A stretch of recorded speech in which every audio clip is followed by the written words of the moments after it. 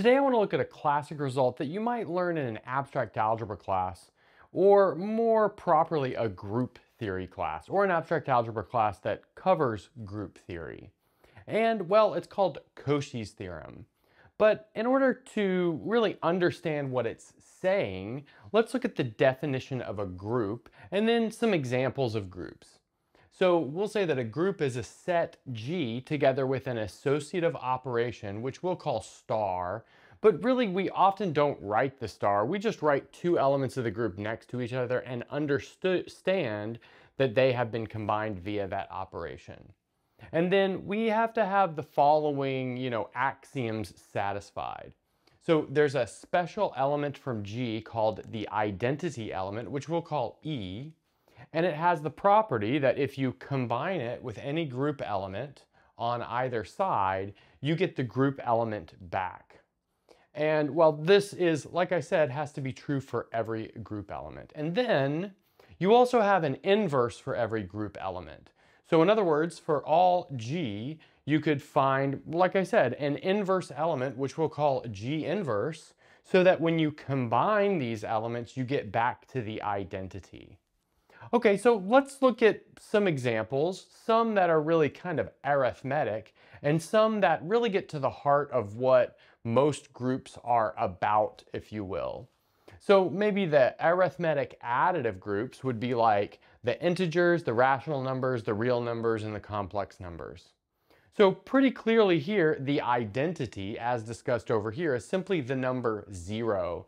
If you add anything to zero, well, that thing doesn't change. And then inverses are simply negations of the whatever number you're at. So the inverse of 4 would be negative 4. That's because 4 plus negative 4 is 0. You're back to the identity. Now, you can make multiplicative versions of these groups if you throw away the number 0. And so we'll denote that by q times here. That's what I'll say. But like I said, that's just rational numbers minus 0 doesn't exactly work with the integers because, well, there's no inverse for, you know, 2 within the integers. You need 1 half there. And then there you've got non-zero reals and non-zero complex numbers, like I said, with multiplication. And then you've got Zn, which, you know, really this is the set of equivalence classes mod n, but let's just think about it as the set of numbers between 0 and n minus 1 with modular addition. So what I mean by that is the operation is you just plain old add the numbers, then you divide by n and keep the remainder. So for instance, in Z6, if you do 4 plus 5, you get 9. Divide that by 6, keep the remainder, it is 3. And then, like I said, we're going to discuss a couple of better examples. Let's maybe look at matrices with non-zero determinant and matrix multiplication. Here we've got two by two matrices. Now, what makes this more interesting is, well, first of all, it's not commutative like these up here were. So notice over here, there was no rule that the group had to be commutative, but maybe more interestingly is that there's a natural space that this group acts on, and it acts on vectors in the plane. And really, the good way of thinking about groups is, or elements of groups, is that they are functions themselves. So here you can think about a matrix as a function that does something to a vector. Of course, from linear algebra, we know that it scales and rotates a vector. But, you know, we don't really need to know that just to maybe understand that this group is made up of functions, functions that act on vectors. Then we've got another group called Dn, the dihedral group, and that's symmetries of a regular n-gon. And well, this naturally acts on a regular n-gon by performing reflections and rotations. Oh, I guess I missed the fact that sometimes up here matrices can also be reflections, but that's a small detail. And then down here we've got the symmetric group Sn, which is all permutations of the set from 1 to n. And well, this kind of obviously acts on 1 to n. So notice that all of these groups down here are made up of things that act on other things. which, like I said, is maybe a more proper way of thinking about a group than this arithmetic version up here. Okay, so now that we've discussed groups a little bit, let's look at the result we want to prove and prove it. So what we want to prove today is something called Cauchy's theorem. And it says that if we have a finite group, G, and then we have a prime that divides the order of G, the number of elements in G, then there is an element of order P. So what does it mean to be an element of order P? Well, it means that if you combine that element with itself P times, you get back to the identity. Whereas if you do it less than P times, you are never equal to the identity. So in other words, let's say that element of order P was G. Then you would have G is not equal to the identity but then g squared, g cubed, all the way up to g to the p minus 1 are also not equal to the identity, but g to the p power is equal to the identity. So this kind of very obviously happens in Z6, for instance. Observe that the number 2 has an order of 3, and 3 is a prime dividing 6, the order of the group. That's because 2 plus 2 plus 2 is 6, which is equal to 0. You're back, e you're back equal to the identity there. Okay, great. So let's see how this go, proof goes. So let's introduce the notation of G equals M times P. So if P is a prime dividing the order of G, then we can write the order of G as, well, a multiple of P. And I think this is maybe the best multiple of P, MP. Okay, and then what we're gonna do is consider the following set. And that set will be made up of some ordered p tuples. So let's maybe call that set S. And it'll be everything of the form G1, G2, G3, all the way up to G sub p. And it satisfies well, some rules. And first of all, all of these G's are inside of G, otherwise it wouldn't really make any sense for our purposes. And if you combine them all together, G1, G2, all the way up to GP, you get the identity. And now next up what I want to notice is the shape of an element inside of S. So notice if we've got an element G1, G2 up to GP inside of S, then that's equivalent to saying that if we combine these all together, we get the identity. But we can kind of solve that for GP, and we can do that by multiplying by the inverse of this big chunk that I have in orange parentheses here. So that's going to tell us that GP is in fact equal to GP minus 1 inverse times GP minus 2 inverse all the way down G2 inverse, G1 inverse, where here we've used the fact that if you take the inverse of that big chunk in orange, then you're going to switch the order of multiplication. Now, next up, let's define an equivalence relation on S. So we did some videos on equivalence relations in the past. That's just maybe a loosened version of equality.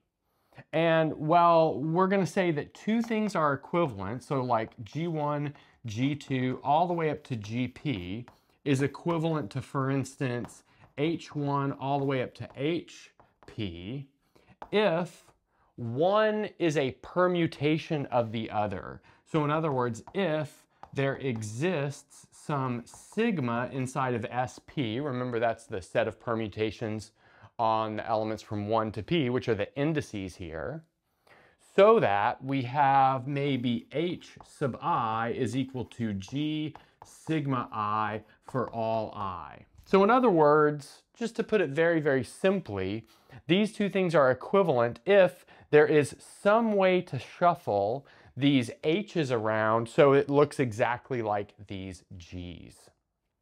Okay, and next up we want to look at the size of some equivalence classes. So what do I mean by an equivalence class? Well, the equivalence class of G1 to GP, that's simply going to be all of the p tuples that are equivalent to this. So in other words, it's going to be h1 up to hp such that, um, let's see, h1 up to hp is equivalent to g1 up to gp. Great. And now let's notice there are really two cases here. This equivalence class could have one element or it could have more than one element. And well, we really want to look at the case when it has more than one element for a minute. So let's do that. Okay, so let's look at this equivalence class that we had before and I want to underscore the fact that these things over here have to come from S. So they have to have that rule that if you combine them together, you get, you get back to the identity. So it's not all permutations, it's permutations that still make that satisfied, that product being the identity satisfied. So let's notice that there are really two possibilities here that we want to look at. The first possibility is this case if G1 to GP equals, well, just GGG. In other words, all of these entries are the same. But if that's the case, then the equivalence class is 1, because notice all the permutations of a tuple with all of the same elements is, well, it's, it never changes, right? And so the second case would be if you have two entries here that are not equal, at least two entries here that are not equal. So I've got that here. There exists i and j where gi is not equal to gj. And now what I want to notice from this point is you get all cyclic permutations of maybe the element that's producing the equivalence class.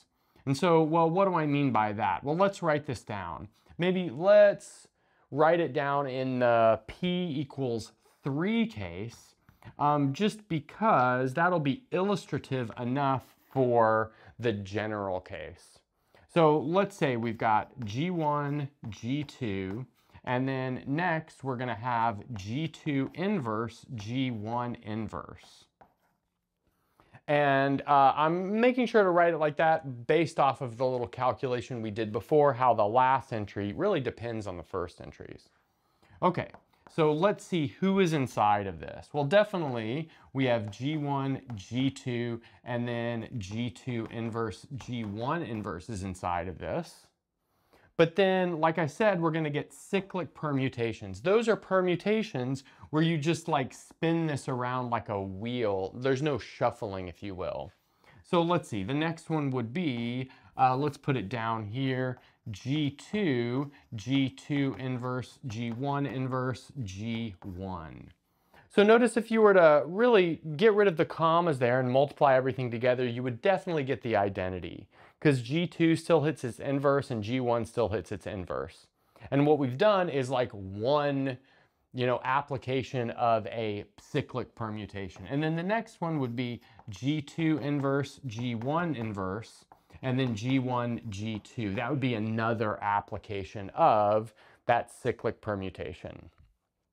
And now Perhaps more things are in there as well. Perhaps we're lucky enough to have some non-cyclic permutations of this element also inside of the equivalence class, but those will all come in triples. And those will all come in triples because you'll get the cyclic permutations of those as well. So I'll just put that over here as something, something, something, and that's gonna continue on and on and on. So the important thing here is that these things are happening in triples. So since these things are happening in triples, in this case, the case where you have you know, elements that are entries of these tuples not equal, you always get a multiple of the prime for the number of elements in this uh, equivalence class. So in other words, the number of elements in this case of the equivalence class G1, G2, all the way up to, let's call it GP, I guess it will be, will be equal to, like I said, a multiple of P, let's say K times P. Okay, so now we're pretty much ready to put it all together. Okay, so now let's recall a fact about equivalence classes, and that is Their disjoint union is, well, the entire set we're working with here. But the set we're working with here is, well, it's gonna be not the whole group, it's gonna be this set S from before. And then next thing what I'd like to notice is that we can count the number of elements in the set S. And well, we can do that just by looking at this P tuple down here and observe that you get n choices for each of the first P minus one entries because those are freely chosen. And then the last entry is the inverse of the product of those. So there's only one choice for that.